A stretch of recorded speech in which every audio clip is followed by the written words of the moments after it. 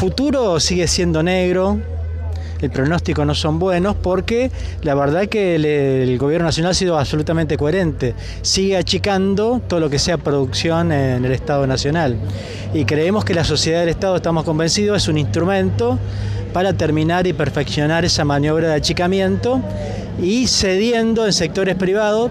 Y ni siquiera te diría que es sector privado nacional, eh, porque la industria nacional está pasando un muy mal momento, eh, cediendo la producción que puedan hacer el sector privado y solamente al final del camino se va a quedar con una producción muy chiquita para las Fuerzas Armadas, que eh, Fuerzas Armadas desarmadas diría yo, es decir, no te está claro en los últimos años cuál es el papel de fabricaciones militares y también cuál es el papel de las Fuerzas Armadas.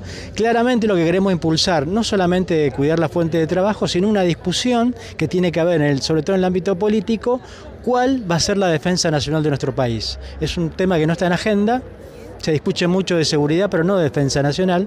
Pareciera que no hubiera guerras en el mundo y que no hubiera imperios ni hubiera países agresores. Entonces la defensa nacional no existe. Tenemos que este proceso electoral tiene que discutirse cuál es la defensa nacional. Porque claramente ahí va a estar enmarcado cuál es el papel de fabricaciones militares en la medida que hace una definición de esa defensa. Usted mencionaba la defensa nacional. El hecho de defender la soberanía argentina no es solamente de nuestra frontera hacia afuera, sino también fronteras hacia adentro. Hay peligros internos, por ejemplo, la inseguridad. ¿Ustedes también abastecen a las distintas policías del interior, eh, provinciales, federales? Mira, es nuestra pretensión, pero la verdad que no es así. Eh, hace poco tiempo, discutiendo con un gendarme, viste, cuando nos encontramos en la calle, que cortamos y no cortamos, que te movilizás, no te movilizás, este, charlando profundamente, el gendarme termina reconociendo que todo lo que tenía encima, desde el armamento hasta la ropa era todo importado, no había nada de producción nacional. Y ahí está claramente que las cosas que podríamos estar haciendo nosotros, trabajo para argentino, no las estamos haciendo.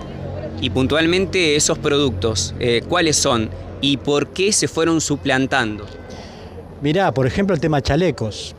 Eh, creemos que hay maniobras a propósito. El Kevlar, que es la base del chaleco, es cierto, es importada. Pero ¿cómo puede ser que después de la devaluación un chaleco importado entero salga más barato que un chaleco fabricado por nosotros. Claramente para nosotros hay maniobras que perjudican a fabricaciones militares. Hay gente que piensa que una de las empresas que es primo de Angelici eh, sería beneficiaria de esto.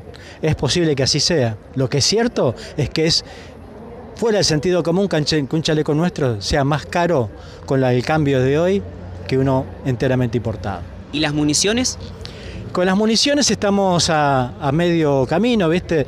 Las Fuerzas Armadas casi no tienen entrenamiento. Eh, entonces, ¿las municiones para qué le vas a hacer? Debería hacerse municiones para la seguridad, como decís vos, pero sin embargo, eh, no hay una ley de compra nacional, entonces se compra en otro lado. Eh, el anterior interventor, que hoy es subsecretario, hace un año nos dijo, cuando nosotros le planteamos las diversas tareas que podrían ser fabricaciones, como las municiones o el desmantelamiento de, elementos ya que están perimidos, que están vencidos, eso se llama desmilitarización.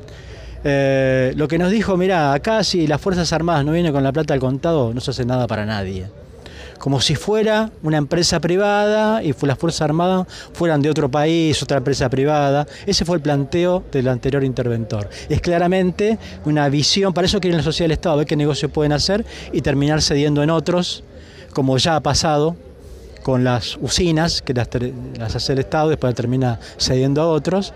Y entendemos que este es un debate general, eso es lo que pretendemos impulsar, no solamente con los compañeros de fabricaciones, sino con los compañeros de Río Turbio, compañeros del INTI, los compañeros astilleros de Santiago, todos los que tienen que ver con la soberanía y con la defensa nacional.